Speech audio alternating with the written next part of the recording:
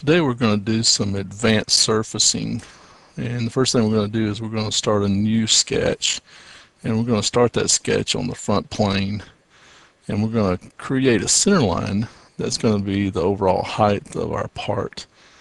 Uh, then once we create the center line and we give it a dimension we're going to go in and create another line uh, that's going to be the width uh, of our part to give us a starting point and then we're going to convert that to a construction line with a toggle. And then we're going to go and uh, get back into that sketch and we're going to go in and do a uh, insert a sketch picture. Uh, and you have to be in the sketch in order to do that.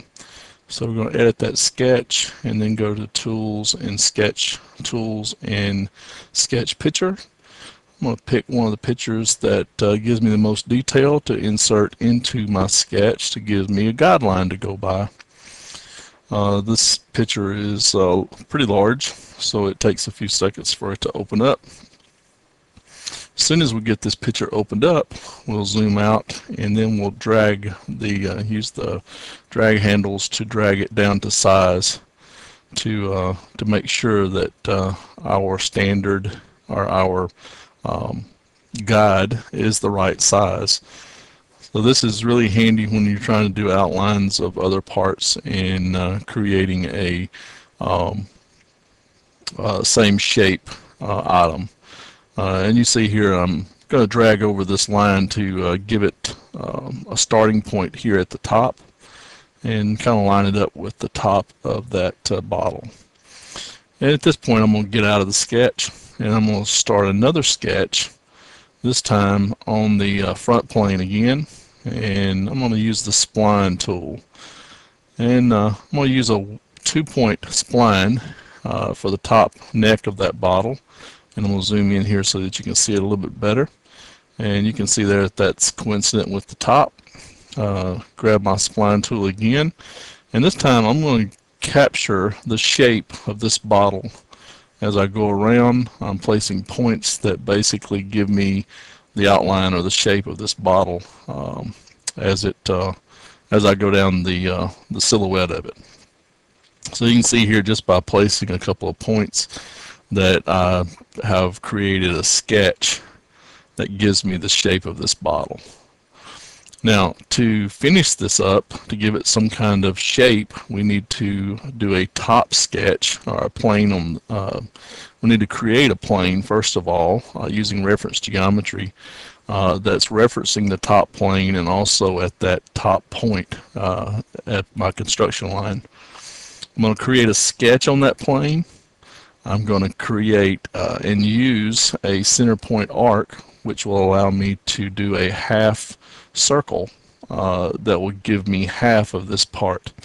So uh, we're going to take that half and make sure that we're dealing with only half by selecting those three points and giving them horizontal relationships. Now, while I'm still in that drawing, I need to connect these two sketches together, so I'm going to give it a Pierce relationship. That's going to allow these two to know that they are connected. And then I'm going to my surfaces toolbar and creating a, uh, a surface um, sweep. And by selecting the pattern and then using my selection manager to select the uh, two um, two entities there, we can uh, create a really quick uh, surface model. Um, so as you can see as I rotate this thing around that this is actually a surface model. Of course it's not the same, it's not to shape, uh, not to the shape that we've got on one side. It is to the other side, but we're going to go in and use our, uh, our tool for freeform. We're going to create a couple of things. One, we're going to make that line movable and tangent, that one movable, this one movable, and we're going to leave this one as curvature. We want it to stay basically the same. At that point I can add some points that's going to give me the ability to control the shape of this uh, surface part. Uh, I can multiple select these with the control key and then just drag them out to give my shape uh, along the same outline as what uh, what the picture is showing. So here you see just a little bit of manipulation, just selecting one at a time or you can select multiples uh, to uh, to get the shape the way you want it. So as I go through this, you can see how easy it is just to uh, to click on these and to drag them out to get the size or get the shape that you're looking for, just with a little tweaking.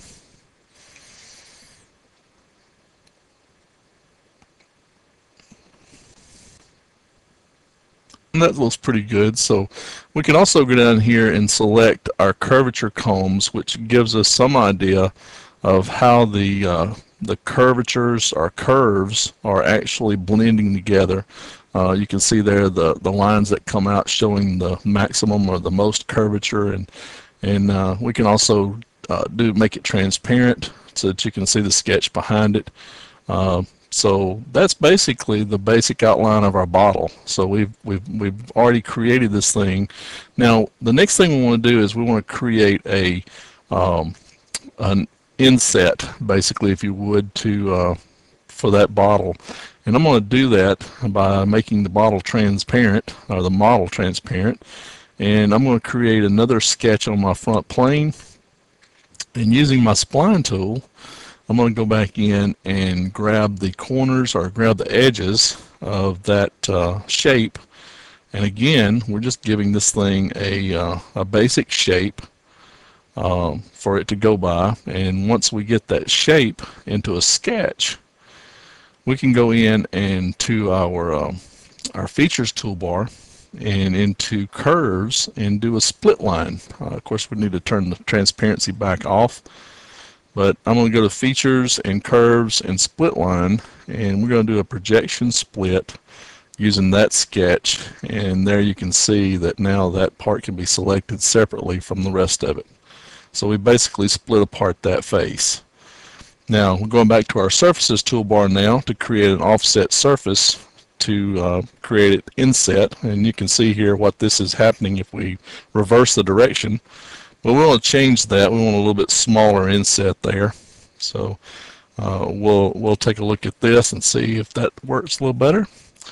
And then I'm going to select that face and delete it we no longer need the outside face. We just want to do the inside face. And as you can see here, as I zoom in, you can see that there's now an inset there, and there's two separate faces, and you can see kind of the gap between them. So we're going to use those two faces, create a loft between those two to close it up. Now we're going to put a fillet in there, and it's going to be a small fillet, so we're going to try this and see. And it tells us that it cannot uh, cannot put fillets on laminar faces, which means that there's several different features or different surfaces in there that need to be knitted together, and that's what we're doing here at this time. Now, we now can go in and put a sketch on here or a fillet on here, and uh, change the size of it to give it a little bit uh, smaller. That works good. Click OK. And that's not going to work there. So we're going to remove that face and just leave that one fillet in there. Now this is uh, this is basically a half of our bottle.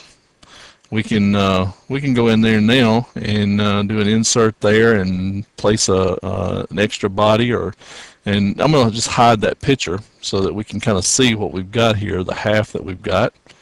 You can see there as I rotate it around that this is still just nothing but surfaces.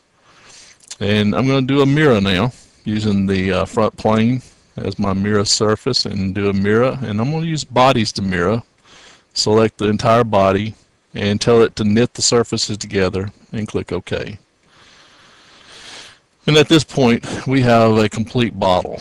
Uh, we have the uh, entire uh, bottle there and uh, we can uh, we can go in now and the last thing that's left is to thicken it. If we go to surfaces and thicken and uh, we'll just give it a 0.01 for the time being just so that we can uh, uh, get this thing thickened. And we're going to click OK. It takes just a few seconds for SolidWorks to thicken all the surfaces all the walls there on that bottle. And then as you can see as I zoom in there is your thickened surface. So now SolidWorks has created a solid from the surfaces that we had this is just some of the functionality that can be done now in SOLIDWORKS 2010 in advanced surfacing.